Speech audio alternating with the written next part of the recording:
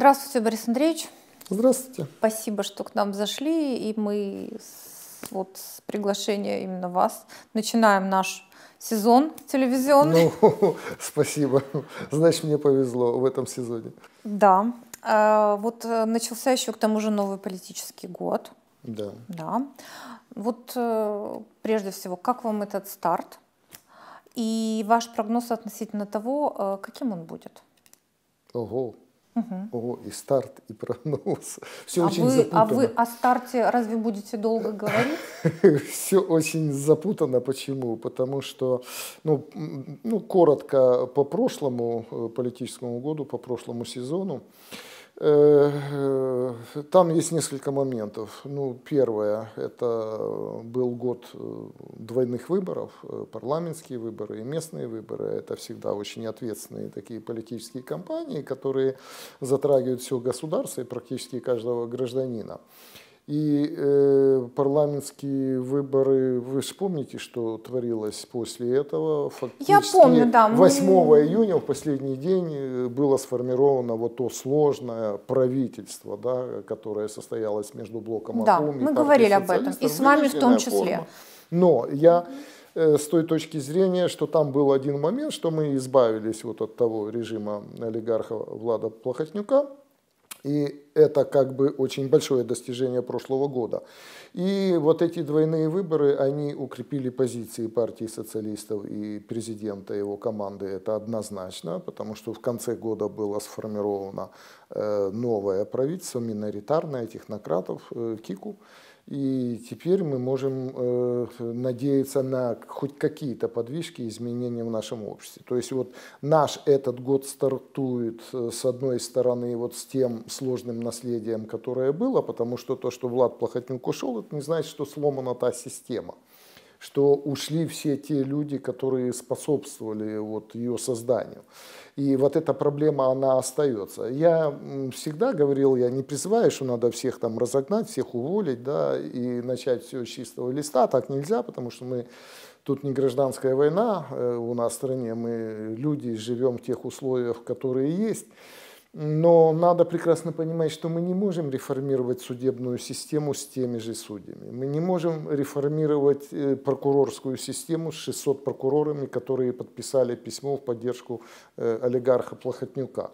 Я не верю, что они ночью проснулись и стали другими людьми. Я не верю в то, что они 10 лет работали, да, и вдруг э, они пересмотрели, вот они сказали, нас заставляли, мы были вынуждены, а сегодня они стали другими, кристально честными, и дальше они будут соблюдать То только есть, э, закон. я так Понимаете? понимаю, что придется бороться с придется наследием. Придется бороться с этим наследием, так. и мы будем в течение этого года сталкиваться. Ну вот возьмите ту же даже судебную реформу. Ну вот отправили в Европу те наши предложения, которые сформировал парламент, правительство и президент.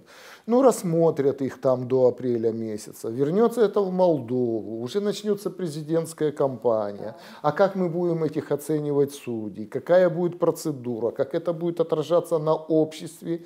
И как вот эти все люди, которые вот, во всей этой мощной структуры, которые формируют мнения, которые занимают определенные должности, как они будут относиться к этому правительству, Кику, и как они будут относиться к президенту, который нам уже понятно, что он будет основным кандидатом на э, президентских выборах. Будет ли это отражаться на политической кампании? Однозначно, сто процентов. Положительно или негативно? Я абсолютно уверен, что негативно. И вот эта большая масса, я только две категории назвал а там еще, еще можно с десяток добавить, да, те, кто вот эти все бизнес-схемы воровские были, те, кто брал кредиты, те, кто отмывал деньги, те, кто украл этот миллиард наш. Чувствуете, да? И вся вот эта масса, она вся будет настроена фактически против одного человека. Надо реально понимать. Если я вас правильно момент. понимаю, да. вы еще а, как в качестве прогноза говорите о президентских выборах. А, президентских... Я с вами, конечно, да, конечно, же, конечно же. же соглашусь, да, э, потому что уже даже и дата предложена, пока она еще не проголосована, но тем не менее президент ее назвал, это 8 ноября. Вот. Э, знаете, если вот начать с того, как этот год начался, кроме вот этой угу. новости замечательной, то, конечно, не было такого резкого старта, как у ведущих держав. Вы, ну, США ну, никто друг друга не бомбил, да, да, ну слава тебе Господи. Вот в России, да, смотрите, уже сегодня есть да. новый премьер, уже, кстати, проголосовано. Ну, слава Богу. Да, э, ну у нас своя повестка, и вот выборы, соглашусь с вами, они займут достойное место в этом всем. А вот что эти выборы означают для страны, Борис Андреевич? Это, как обычно, вот нужно рассматривать как э, вот большая предвыборная кампания, где вот эти дергания будут, знаете, как мы привыкли к этому, или это будут какие-то э, возможности, люди должны так к этому отнестись, что вот у нас э, значит, появится президент или будет еще, значит, на один срок президент, который есть, либо это вот еще какие-то, я не знаю, там э, моменты. Вот что бы вы выделили? Э, Людмила, вы знаете, э, это будет последний бой. Последнее что? Последний бой. Бой. Это моя э, точка зрения и почему я так говорю.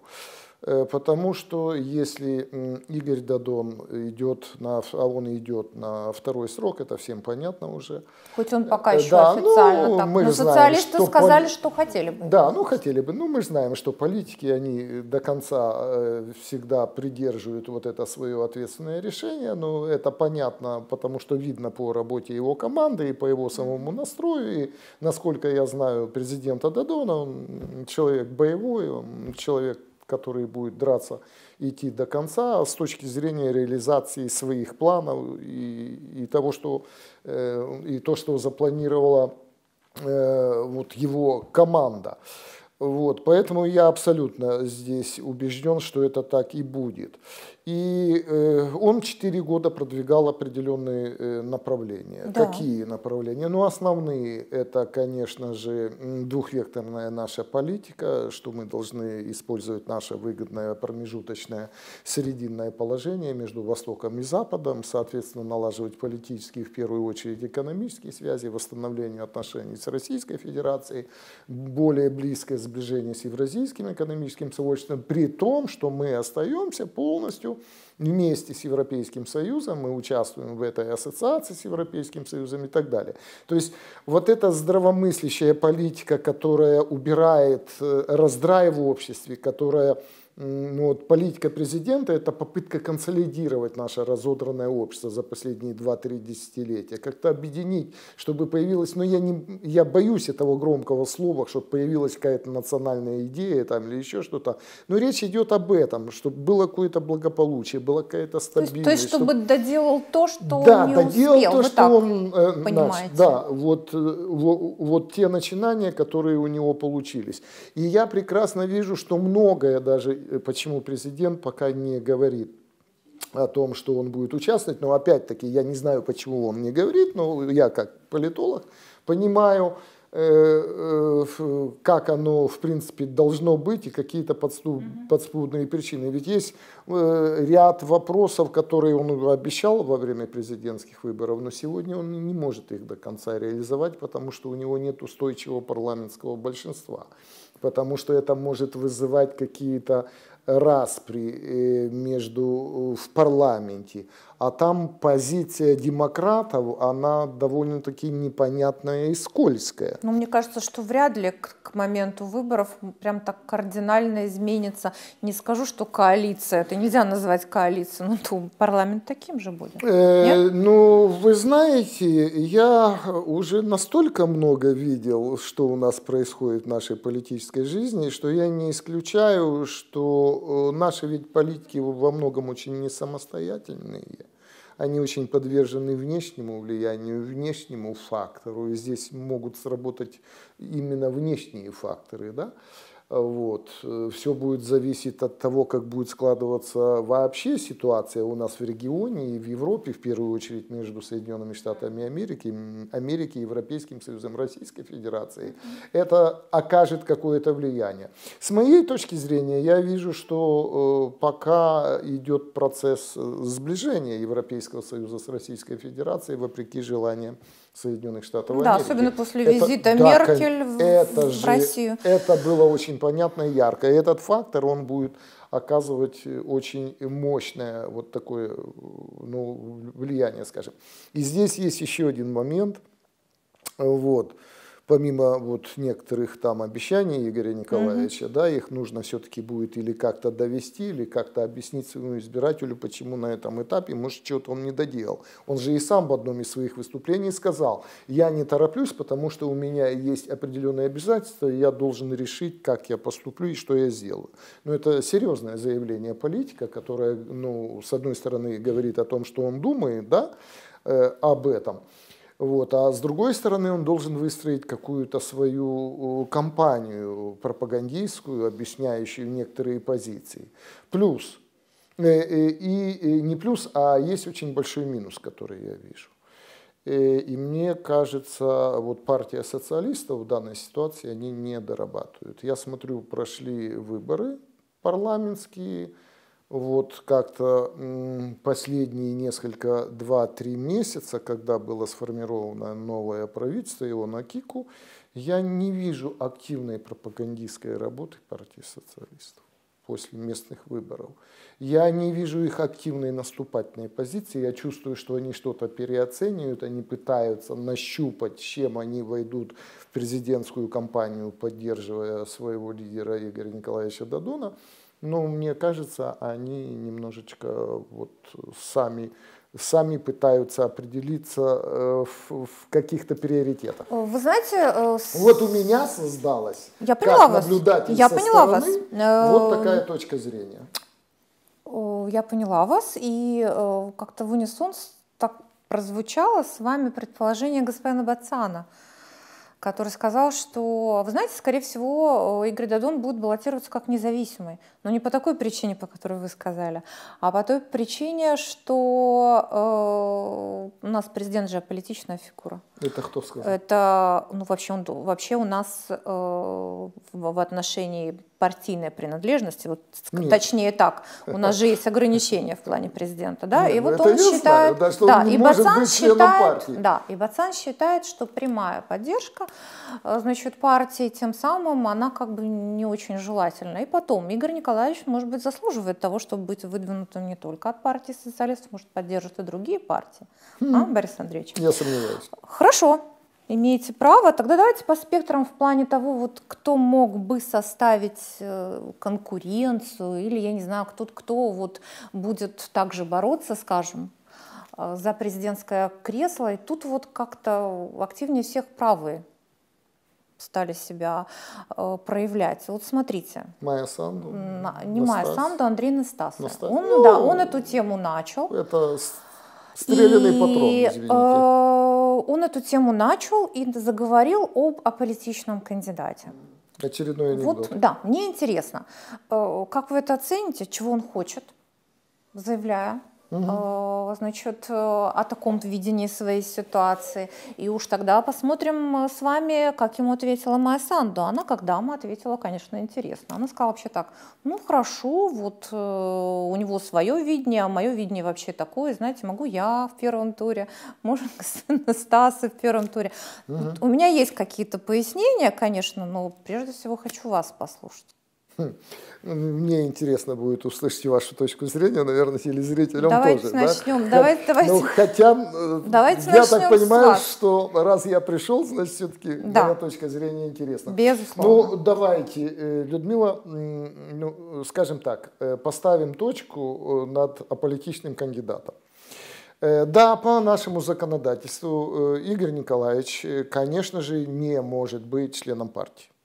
Так э, тогда приняли это решение, чтобы ну, вот, нагадить ему как-нибудь, э, вот, когда он вступал ну, в должность. Он подчинился этой, Он этой подчинился норме. этому, но я это говорил 4 года, э, ну, 3 года президентства так. Игоря Дадона, и буду продолжать говорить это дальше. Можно положить партийный билет, можно написать заявление, но нельзя вычеркнуть свои взгляды и убеждения, выкинуть их из головы и выкинуть их из сердца. Вот, это однозначно. Поэтому все вот эти трюки законодательные, с тем, что он аполитичный человек. Что значит аполитичный президент, вы мне скажите? Он политик. Беспартийный, давайте четче а, скажем. Беспартийный. О, беспартийный. Так.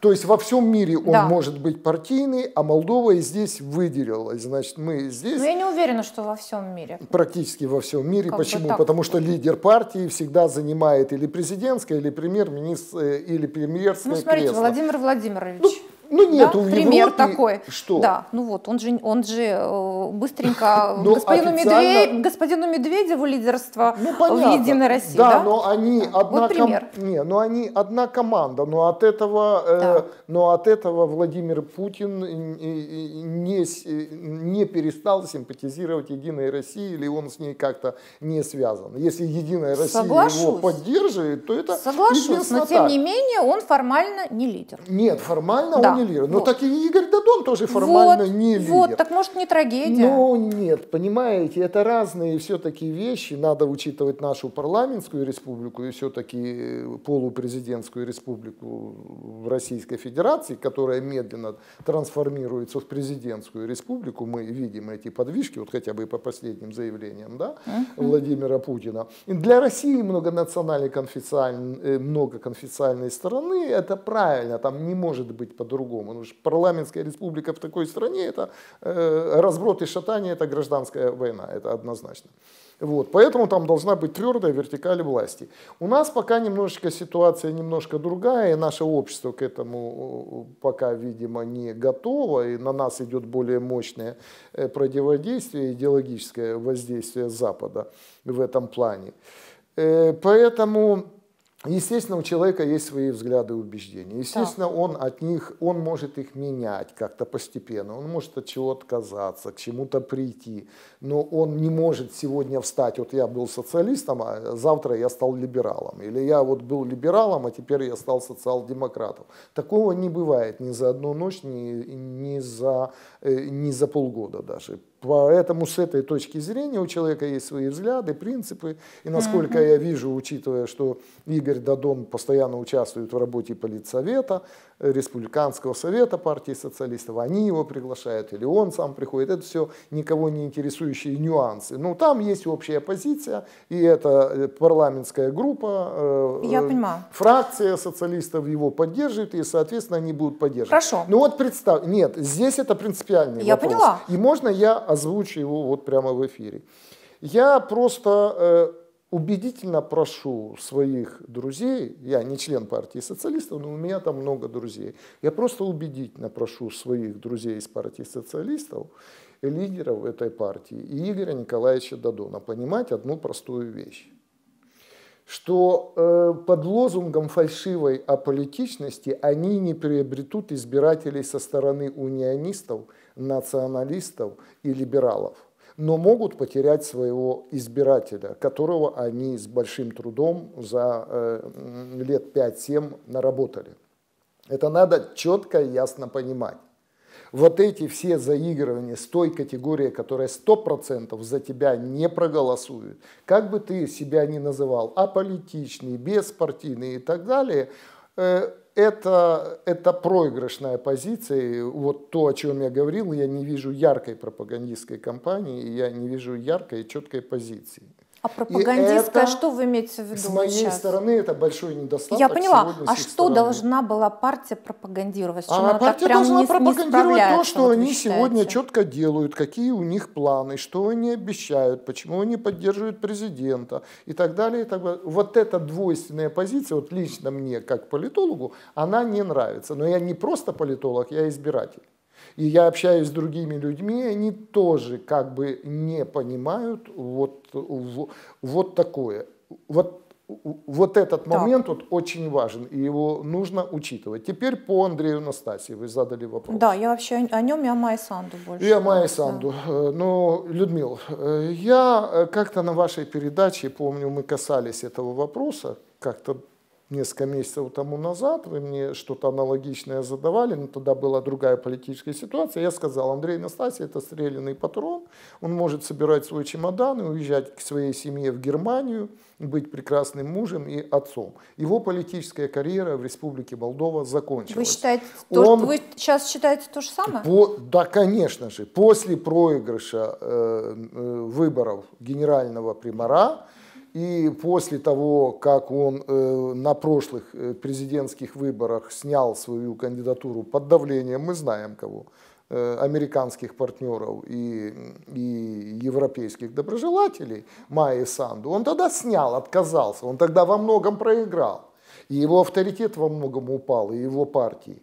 А после этого проигрыша, и после того, как его типа либералы поддержали тогда, Майя, это Дарин Киртак и Майя Санду, у него нет шансов стать реальным большим политическим деятелем в Республике Молдова. Мне жаль, что все-таки он умный человек, он этого не понимает.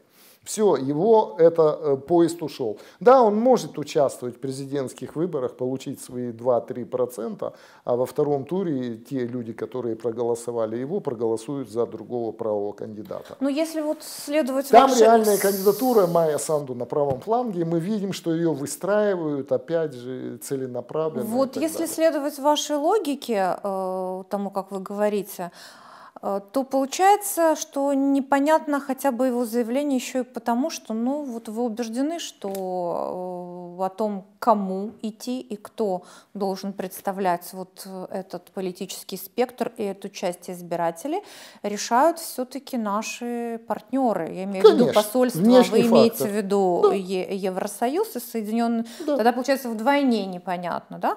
А почему он делает это заявление? Ну, это его амбиции, ему что-то хочется. Ну, политический проект это всегда бизнес-проект. Он сегодня глава партии, сегодня так. есть какое-то финансирование, сегодня есть какие-то деньги, есть какие-то обещания перед Хорошо. своими партнерами. Ну, вы же понимаете, Я да, понимаю, что да. даже а... в этой ситуации ты не можешь быстро соскочить э, с поезда, да, даже если он тормозит, потому что можно упасть и разбиться. Поэтому Хорошо, есть я поняла вашу времени... точку зрения. Э, значит, получается велика роль э, значит, посольств, я имею в виду Евросоюз и я имею в виду Соединенные Штаты Америки. Э, как себя вот в этом во всем будет вести, будет себя чувствовать и будет себя вести э, Майя Санду? Вот если э, у нее есть президентские амбиции, а я думаю, mm-hmm. что они у нее есть, значит, как-то она вот это время должна будет рачительно и с умом использовать. Вот что она будет делать, с вашей точки зрения? Сплачивать вокруг себя политические партии, какие-то, каких-то единомышленников, да, какие-то, может быть, организации НПО, угу. да, вот, очаровывать э, посольства, опять те же самые, чтобы они... Э, абсолютно. Ну, почему же? А зачем очаровывать, она их э, ставленница? То есть уже все, да, даже стараться не нужно. Зачем? Она из Всемирного банка, из так. Соединенных Штатов Америки, она там говорила, что она получает бешеные деньги. Ну, я бы не сказала, что все так однозначно. Нет, ну, наверное... Хотите поясню, почему? Я бы не думала так, мне вообще все не так вообще всегда так черное-белое, а все вообще немножко когда оно с оттенками. Вот здесь я оттенки вижу в том, что после того демарша, который э, она устроила в связи с э, mm-hmm. тем, что как повела себя с назначением генпрокурора, я знаю, что посольства были не, не очень довольны. То есть, очевидно, да, я думаю, что в этом отношении есть где еще дорабатывать, потому ну, что даже она еще Андрей не созревшей Стас... дальновидной политики, наверное, женские эмоции мешают, ну, я извиняюсь, может... Не, не стоит вам сейчас это говорить. Потому что у нас есть совет по дискриминации, Борис. Андреевич. Нет. Почему? Не стоит. А в чем здесь? Как ну, в чем? Просто, Женское. Мужчины Я более не могу не отреагировать. Женщины более эмоциональные, это общеизвестный факт, и не вижу здесь факта дискриминации, абсолютно. Есть есть не все женщины не сдержаны и не все мужчины Согласен. хладнокровны. Вот. Согласен. Хорошо. Значит, то есть вы считаете, что она будет сплачивать вокруг себя единомышленников и политические партии, и просто, да, э, значит, те. А как она будет это делать? Ну, опять-таки, у нее есть руководство э, в числе западных партнеров, ведь она сюда-то приехала, наверное, не по своей воле, и хорошо было, наверное, в Соединенных Штатах Америки. Но я просто знаю систему работы э, западных ну, партнеров, как-то нехорошо говорить, они нам вообще не партнеры, да, вот, э, западных служб, э, Я сейчас так. скажу про партнеров, что думаю, да. вы со мной можете не но мне кажется, что это важно. Так, э, не стану вас. Э, я обозначу так, западных служб так, или хорошо. Э, влияния и так далее. Ну, вот смотрите, э, вот в аборигенной стране для них чем является Республика Молдова, давайте называть вещи своими именами, выбираются определенные лица определенного возраста, которые вовлекаются в деятельность неправительственных организаций, которые финансируются фондом Сороса, фондом, э, допустим, Маршалла, там, в Соединенных Штатах Америки есть э, фонд Фулбрайта, да, много, да, да, много которые там выбирают разных, да. умненьких, хороших, э, способных людей, которые приемлют те западные ценности, которые очень не придерживаются своих традиционных каких-то ценностей, взглядов нашего общества традиционного, молдавского, не знаю, российского, украинского, без разницы, да? Они, они обкатывают их в нескольких программах, приглашают себе на одну стажировку на Запад, в Европу, в Штаты, на другую стажировку. Потом они там полгода, год э, возвращаются назад их готовят к тому, что они умные, талантливые, вернутся на свою родину, их будут поддерживать. Все, кто прошел такие стажировки, они возвращаются сюда, их приглашают посольство Евросоюза по любому поводу на все мероприятия, ага. посольство Соединенных Штатов Америки. Я знаю много, есть у меня знакомых людей, которые прошли, допустим, полгода, год такую стажировку в Соединенных Штатах Америки, и они в списке на всех праздниках, на всех торжествах, э, их там принимают, с ними советуются, им говорят, что вы уважаемые люди. При первой возможности их пытаются внедрить в правительство. Посмотрите, кто был в правительстве Майя Санду.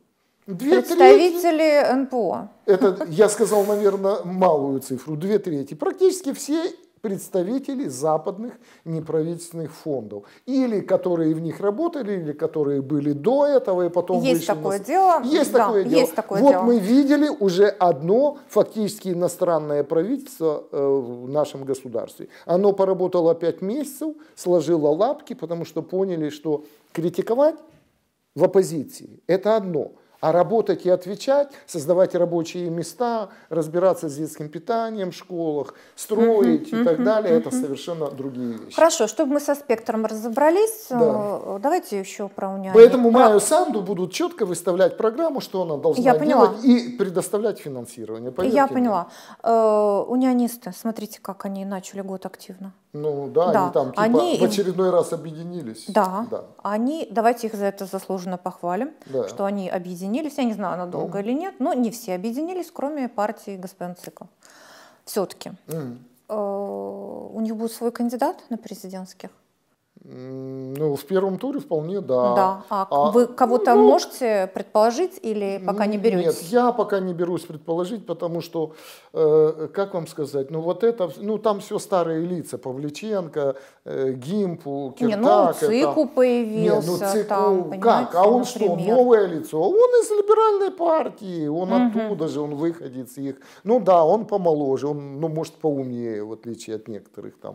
Ну это немаловажно. Ну, ну это немаловажно. Но насколько его будут поддерживать отдельно, да, вот в этом плане. Партия – это очень большие расходы, это финансы. Потом, вы говорите, не появились. Появился еще э, Влад Суркану, новое ну тоже лицо, ну, бывший. Новое то есть, лицо. Э, ну, ну, то есть как-то вот у них немножечко я понимаю этот вас. Процесс, э, да. по, ну, вот поэтому, люди, я пока затрудняюсь э, выделить какую-то кандидатуру. Время покажет по их деятельности в ближайшие полгода, на кого будет поставлена ставка. Пока они меряются Поняла вас. силами Поняла вас. и показывают, типа, вот я это буду, а mm-hmm. другое. Mm-hmm. За ними внимательно наблюдают. И тоже наши соседние братья из эм. Румынии они будут определять, кого же они. Они же не будут Игоря Дадона поддерживать. Ну, это же надо понятно, да, ну, это, понимать. Это, это, совершенно вот. понятно. Тем более, um, ну, возьмите последнее заявление да. Орбана, очень вот, недипломатичное, да, очень нетактичное, да. грубое по отношению к соседней стране. Но это вмешательство во внутренние дела. Ну вот вы так Абсолютно. говорите, вот смотрите, это вмешательство во внутренние дела. Я бы сказала так, понимаете, вот э, это, э, вот когда вы сказали, там нельзя говорить партнера, я, знаете, вот заметила такую вещь. Анекдот Смотрите, да? я не вспомнила Нет. анекдот, я, я обратила внимание, что, понимаете как, вот так сказать, что это такое вот э, правительство, как он там четко выразился, я уже не помню, не, не то, что не доверяют, как он сказал? Ну, он так и сказал, что мы не доверяем что этому правительству. Да, ну, да, да, да, да, да. Но дело да. даже не в этом, понимаете? Почему? Такие... видите, не то, что правительство говорит, а им просто не нравится, что это там типа социалисты или, или за спиной, или в этом присутствуют. Нет, я бы даже... Никаких аргументов Я бы даже не, не так сказала, если вы позволите. Мне да. я все-таки закончу свою мысль. Дело в том, понимаете, что вот такие вещи, на мой взгляд, вот нужно говорить прям вот вот крайне редко. Потому что, вот смотрите, когда было противостояние у, у России и, э, значит, э, не только стран ЕС, угу. коим пока мы еще и причисляем и Великобританию, и Соединенные да. Штаты, и когда вот были все эти кризисы, вот Владимир Владимирович выходил и говорил, наши западные партнеры, понимаете? А тут вот, э, в принципе, да, несмотря на то, что это правительство наше, это пытались как-то наладить вот эти отношения, и что в ответ вот такой вот, на мой взгляд, секундочку, непродуманная, жесткая, как вы сказали, mm. резко, вот такая вот оценка. Да, нетолерантно да. это мягко еще мягко сказано. сказано. То да. есть получается, что э, у нас э, нам нужно ждать на этой кампании нам нужно ждать обострения геополитических каких-то страстей. Да. Борис Андреевич, задам вопрос еще более прямо. Mm. Действующие лица и исполнители из геополитических игроков, они будут все те же самые и расположатся так же, как обычно – то есть, с одной стороны, это будет Европа, США и Румыния, да. а так, с другой ну, стороны, то есть все точно так все же. Все точно так же. А какой Ничего не, не меняется. Нет. Для них, Нет, ну, для них Игорь почему? Дадон и да, социалисты да. это пророссийские. И как бы сегодня Игорь Дадон и социалисты не пытались стать там какими-то европейцами и все остальное, для этой категории. То есть получается все зря, Борис а точно как с Ворониным. Ну вы только что хвалили двухвекторную политику э, президента. Вы сказали, что вот он это сделал, он это начал. Он правильно делает для да. общества, для да. нашего молдавского народа, для uh государства, uh потому что это выигрышная позиция. И если он победит... Но ее не оценили, И вот почему я сказал да. последний бой. И если он победит на этих выборах, на президентских выборах, то всем будет понятно, что эта политика будет проходить и дальше. А представьте, на президентских выборах побеждает Майя Санду, которая опять жёс Россия, жёс Дадон, жёс социалисты, мы только в Европу, формируется что-то, начинается правительственный кризис, в парламенте начинает кто-то кого-то перекупать, кто-то кому-то выкручивать руку, руки наши западные американские партнеры, и начинается эта дестабилизация в нашем обществе. Оно нам надо? Нет. Вот поэтому здесь, вот почему я говорю по пропагандистской линии э, социалистов, э, задача сегодня объяснить каждому молдавскому гражданину, преимущественно нашему народу, простому, который работает, создает рабочий продукт, оказывает услуги, о том, что благополучие и будущее нашей страны – это президент Дадон и его команда – с этой программой, которая у него сегодня есть. Надо дать шансы, наконец, хоть одному президенту довести свою программу до конца, а не шарахаться, опять менять геополитический вектор или, э, или еще что-то делать. Вот сегодня главное. И если мы в течение года до следующих выборов, до 8 ноября, сможем объяснить людям, и люди поймут, что в этом их будущая перспектива, это одна ситуация. Вы так говорите, как будто ситуация прям такая плохая. Сегодня смотрела, а я не, не вижу, сегодня смотрела опросы, а я видела. Сегодня смотрела э, опросы последние, да, ассоциация, значит, э, демографов и социологов. Ну, что там прекрасные цифры в отношении доверия к президенту, и у социалистов там хорошие данные. Поэтому я не думаю, что все так Людмила, прям плохо. Но я как Но... социолог очень скептически отношусь к опросам, это во-первых. Во-вторых, я знаю, что опрос может поменяться в результате одного неправильно сказанного слова и позиции ну, это да. вот или с. Вот, вот с этим, а в ну... течение, извините, 10 месяцев до выборов может очень много разных ситуаций быть. Работать надо, и я и... здесь с вами даже не стану спорить, просто еще хочу какое-то время потратить на э, вопросы, которые у меня еще, безусловно, да, есть. Э, и один из них касается возможных конкурентов э, на левом фланге. Ну так они известные. Да. Пожалуйста, вот кто из них наиболее серьезен? Гражданский с конгресс, точки? с моей точки зрения, так. более серьезный, потому что они возьмут под себя ну, часть тех коммунистов, которые почему-то не нравятся Игорь Дадон или социалисты. И они есть, и они были, да. Но они были разобщены. Сегодня они э, будут объединяться. Все-таки пять с половиной тысяч Э, членов партии, которые были зарегистрированы в 22 районах, это серьезное дело, и сбрасывать это со счетов нельзя. То есть они определенный процент отнимут, или же они призовут не участвовать в президентских выборах. У них двойная позиция, я думаю, а они как сейчас вы полагаете, определяются. у них может быть свой кандидат или все-таки они Нет, будут я не думаю, они постараются не, призвать не участвовать в выборах и таким образом э, нагадить э, То есть они даже не поддержат не только президента, а у них нет, своего кандидатуры. кандидата, то, возможно, ну вот есть будут и еще, ведь давайте скажем, что кроме гражданского... Усатый. Да. Усатый, Шор. Вот. Вот, вот они, вот. вот это все левые электораты, да. причем они, ну, отнимут 10-15% все вместе. То есть вы считаете, э, так есть это у нас с вами много. разные варианты, Борис Андреевич. Да. У нас есть такой вариант, что левые, которые не согласны с политикой партии социалистов. Они не согласны не с политикой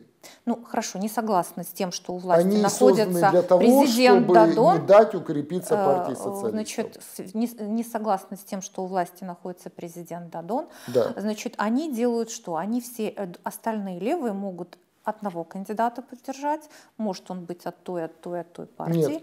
и либо же каждый из них будет э, выход, стараться да, э, выдвигать своего кандидата, как то господин Усатый, по-моему, у него есть президентские амбиции, по крайней мере, раньше он об этом говорил, не знаю, как сейчас.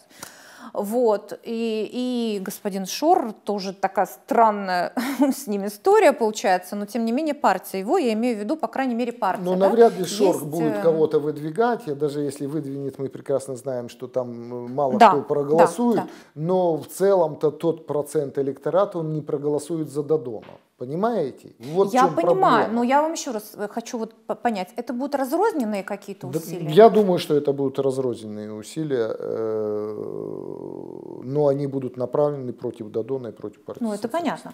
То есть вот так вот. Да. Э, нужно к ним серьезно ну, отнестись. Ну, поймите этим... правильно, Шор, это все-таки подспудно за ним, читай, Плохотнюк, да?